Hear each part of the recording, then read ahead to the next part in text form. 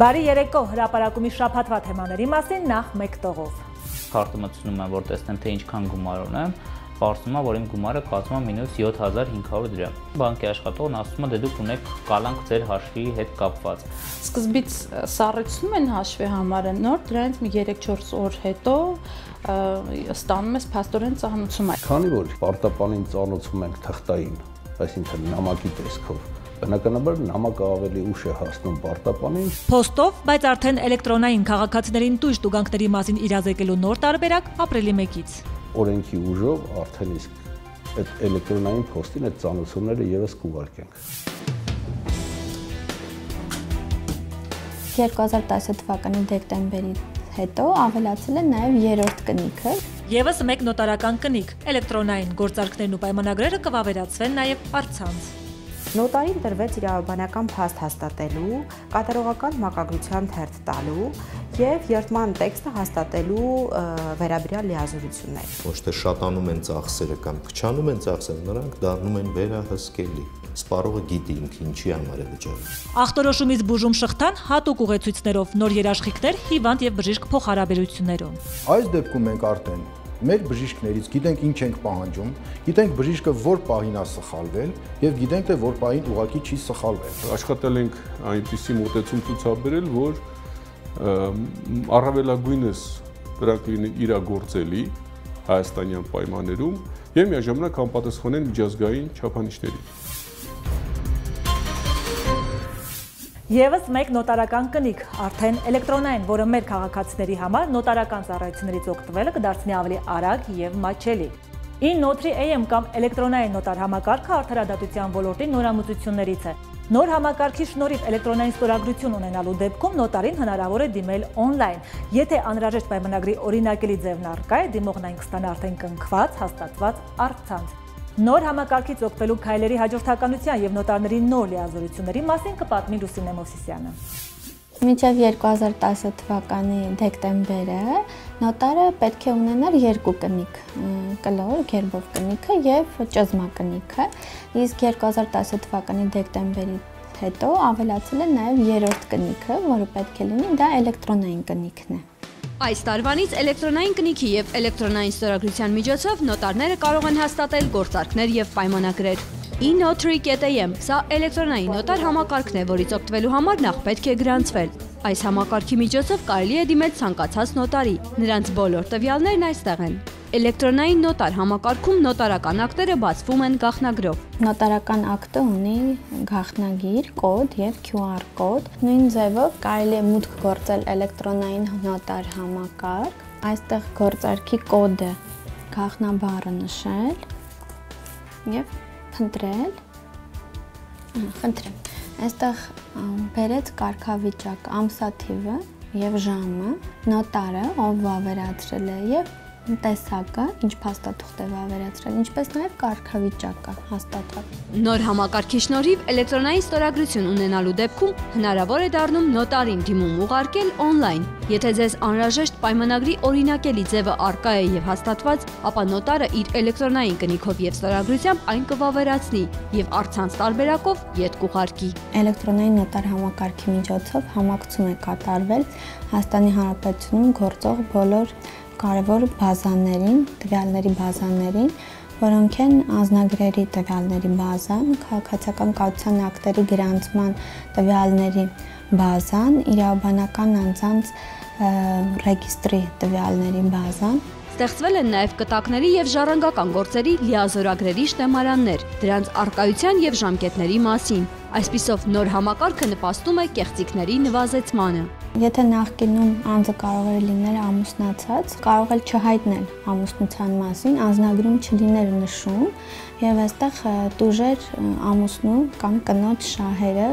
գործարքի իրականացման ժամանակ այս դեպքում արդեն նոտարը կարող է անձամբ ստուգել ամուսնություն կա թե ոչ։ Նույնը վերաբերում է նաև կտակի արկայությանը։ Եթե Հայաստանի Հանրապետության տարածքում քաղաքացու կողմից կտակ է կազմվել, դա նոտարի կողմից մուտքագրվում է շտեմարան։ Այսինքն կտակը եւս կեղծել հնարավոր չէ։ Էլեկտրոնային նոտար համակարգը թույլ է տալիս նաև նոտարների միջև առցանց կապ ունենալ ծանուցումները կատարել առցանց առանց թղթային եղանակի, ստանալ տեղեկատվություն Նոտարիատի ոլորտում հիմնական ծավալուն փոփոխությունները եղան 2016-ի տարեվերջին, շարունակվեցին 2017-ին լիազորությունների հետ կապված։ Նոր փոփոխությունների արդյունքում նոտարի լիազորությունները ընդլայնվեցին։ Նոտարին տրվեց իրավաբանական փաստ հաստատելու, կատարողական մակագրության թերթ տալու եւ երթման տեքստը հաստատելու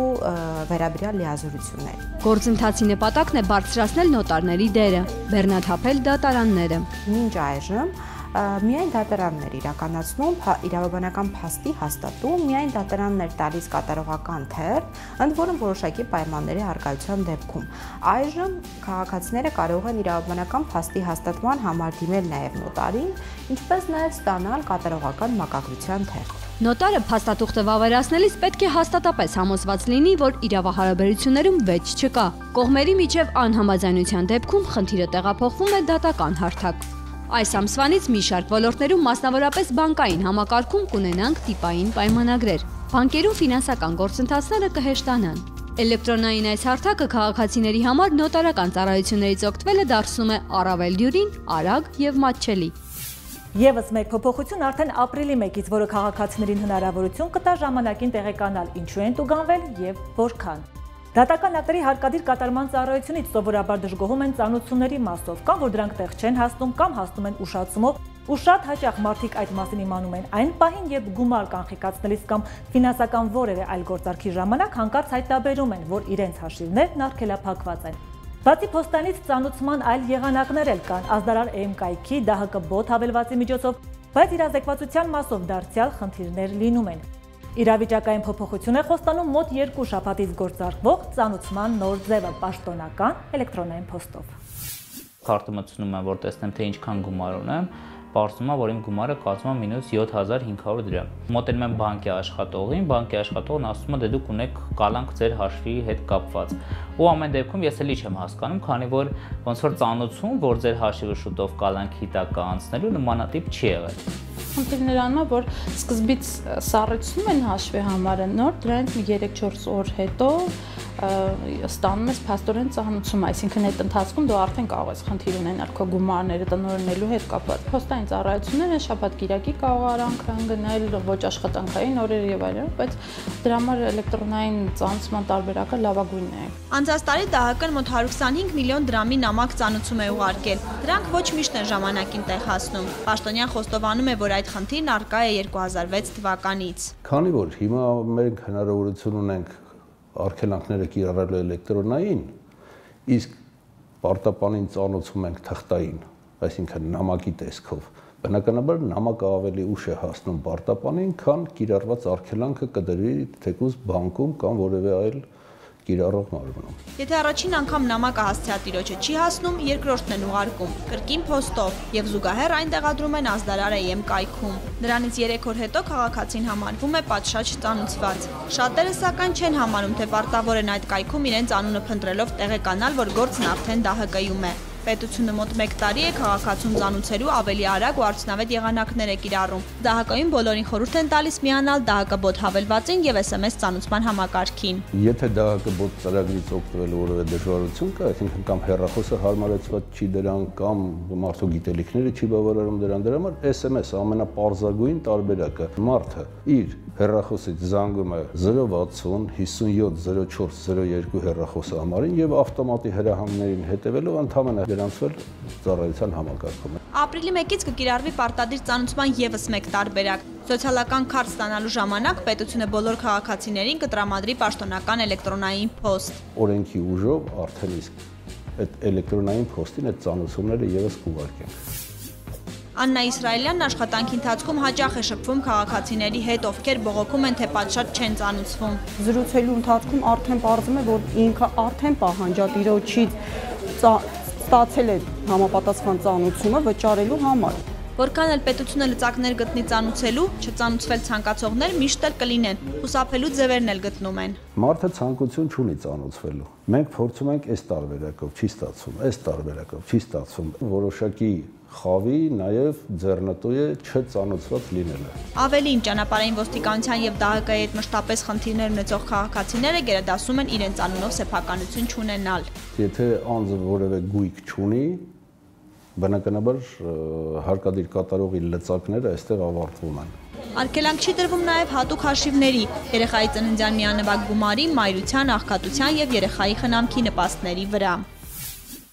ցանկացած դեպքում, եթե ինչ որ մեկի հաշվի վրա կալանքա դրվում, ճիշտ կլինի, որ զգուշացվի։ Թող թող թող դա լինի SMS-ի տեսքով հեռախոսին, այսինքն մի բան, որ իրանք հետագա մասին գիտիկ ինչքա մենք ձեզ զգուշացրել ենք, բայց դուք դա չեք արել։ Զրուցակիցս հույս ունի, որ դահակային մի լուծում էլ կգտնեն վճարման կտրոնը ոչ թե դահակը տարածքային ստորաբաժանում տանելու, այլ էլեկտրոնային եղանակով տեղ հասցնելու համար։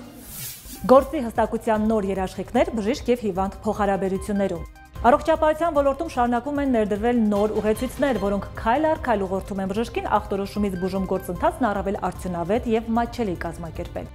Առաջնորդվել ուղեցույցներով շահեկան է եւ բժշկի եւ բուժվողի համար։ Ուղեցույցով աշխատող բժիշկն ավելի պաշտպանված է վիճահարույց իրավիճակներում, քանի որ ձեռքի տակ ունի իր կողմից իրականացված քայլերի հստակ նկարագրությունը։ Հիվանդն էլ վստահություն է ստանում, որ իրեն առաջարկվել է միջազգային ստանդարտներին համապատասխանեցված բուժում։ Նորամուծության կարևորության մասին մասնագիտական թիմից։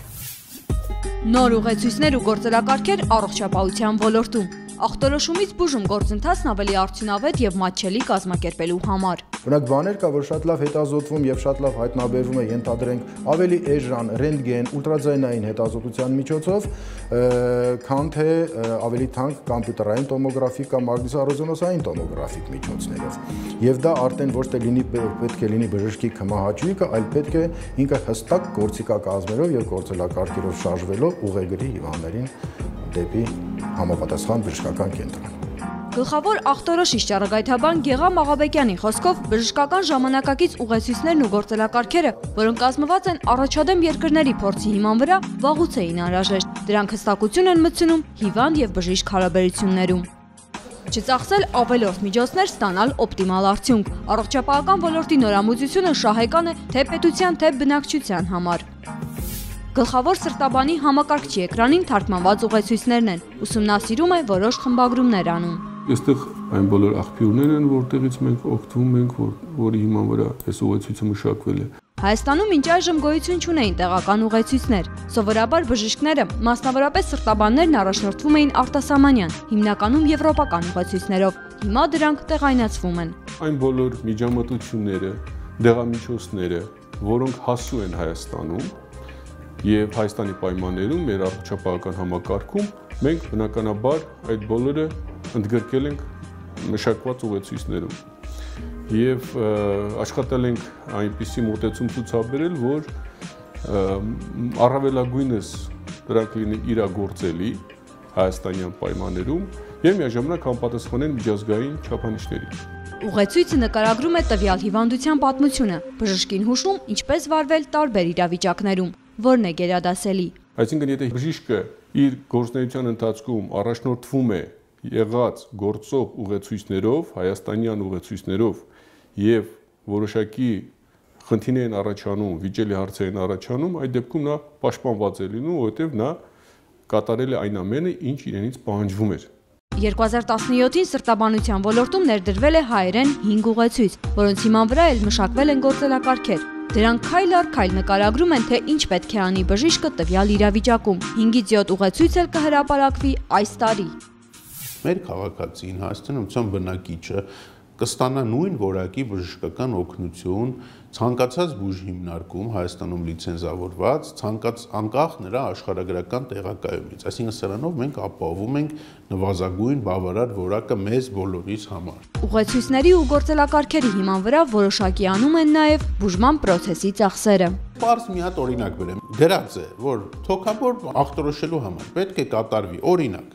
ռենտգեն հետազոտություն, հաստատվի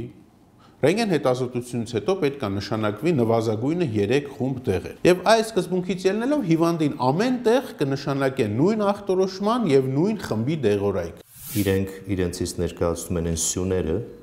որի վրա հիմնված է բոլոր լուրջ երկրների առողջապահական համակարգերը։ Ցանկացած ասպարեզում պետք է լինեն ինչ-որ նորմեր, համաձայն որի դու